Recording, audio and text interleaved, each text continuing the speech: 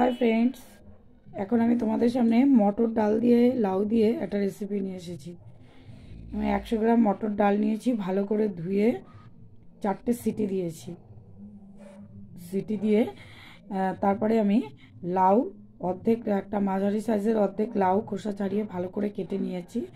তারপরে আমি কড়াইতে এই স্পুনটা দেখেছ? হাফ স্পুন, পাঁচ ফোড়ন দিয়েছি, দুটো তেজপাতা দিয়েছি, দুটো শুকনো লঙ্কা দিয়েছি, আর এক এইটার জাস্ট এই কোনার, এইটুকু মাথা। মাথা যতটুকু দেখাচ্ছি ততটুকু হিং আর কসুরি মেথি দিয়েছি।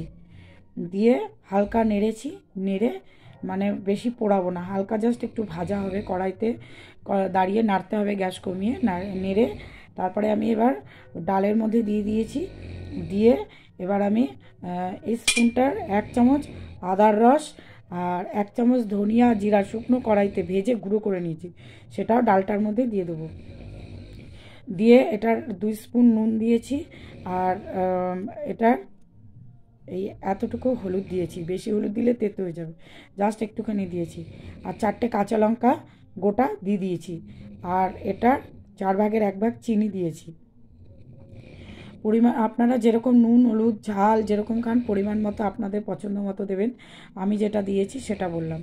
দিয়ে এবার আর এক গ্লাস জল দিয়েছি। দিয়ে লাউটা দিয়ে এবার টকবক টকবক করে ফুটেছে। পাঁচ মিনিট ফুটেছে। গ্যাস বাড়িয়ে দিয়েছি, টকবক করে ফুটেছে। নামিয়ে এটার এক চামচ ধনিয়া পাতা মিহি করে কুচি করে কেটে দিয়ে দিয়েছি। এভাবে রান্না করে দেখবেন ভীষণ টেস্ট হয়।